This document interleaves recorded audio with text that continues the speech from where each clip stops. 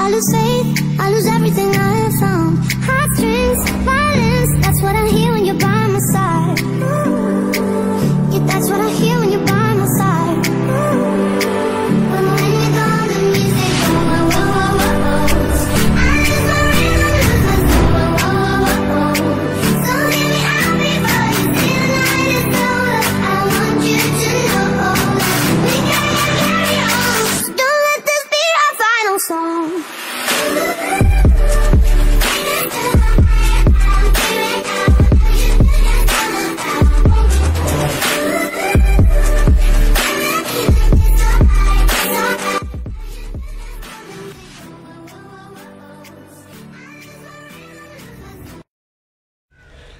So mga kababayan, nandito tayo sa part ng Sulpi kung saan nakatayo ang rest house ni Amo.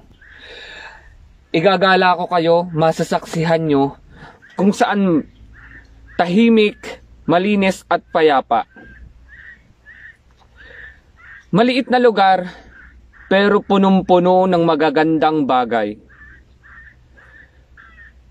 Naakala mo yung bagay na yon kung paghihirapan mo, matitikman mo.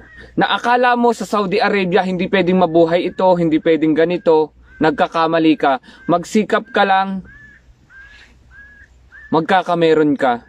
Na akala mo, ang mga gulay na to, hindi mabubuhay sa tag-init, hindi mabubuhay sa taglamig, hindi mabubuhay sa disyerto, nagkakamali ka. Tamad ka lang. So this is the caretaker here.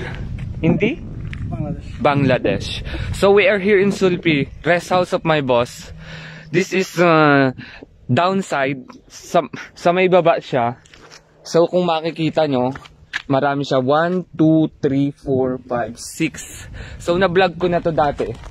Tingnan mo kung gaano kadami. So, cauliflower, I think.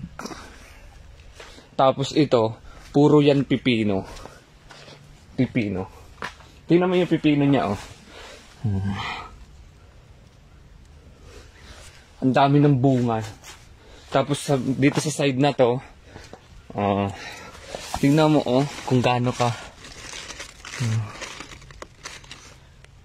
So this part guys is tomato. Naakala nyo hindi mabubuhay sa disyerto ang mga gulay na kinukuha lang nila sa ibang bansa. Nagkakamali kayo. Sa bawat bagay na paghihirapan mo at pagpapaguran mo, minsan magbubunga yan. Tingnan mo to. Ang dami na oh. Tomato. Sa baba lang to ng rest house ni Amo. Kanya pa rin to. So this is the hardworking guy, farmer here.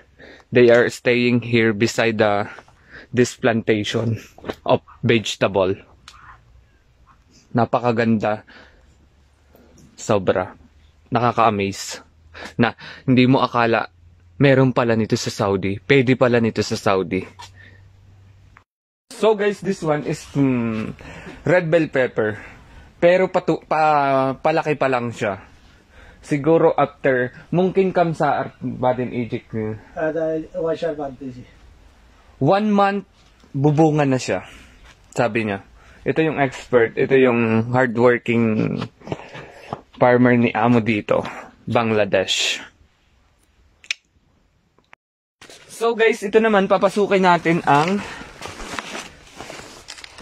eggplant. Pabunga pa lang siya. Talong. Look. Napakaganda. I love vegetable. Super. I love planting. That's why.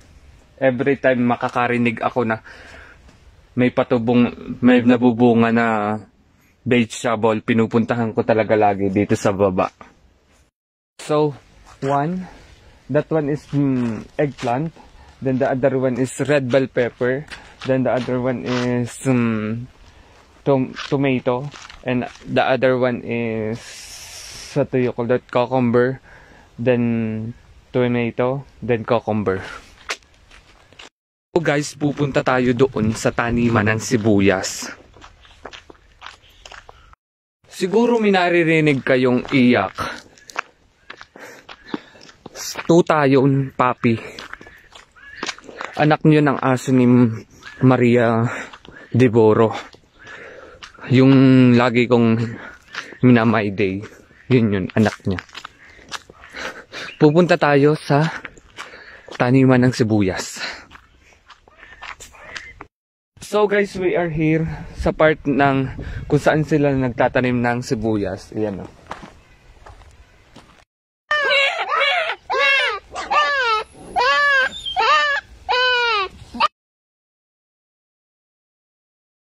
Alam mo, mukha kang kabayo na aso na kambing.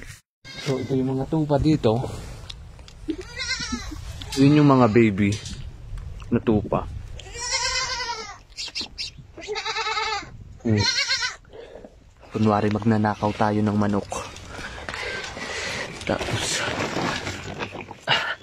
para lang tayo nasa Asian country. Kasi sa Asia mo lang ito makikita. Most, makikita mo lang to sa mga Asia. Mga ganun yung senaryo.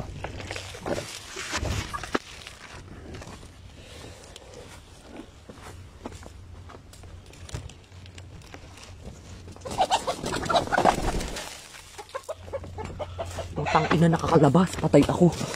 Patay ako sa may-ari. Lumabas. Lumabas sila. Guys, paalam na. Nandito na ako sa rest house. Tutulog na ulit ako. Yun yung kaima. Doon tayo galing.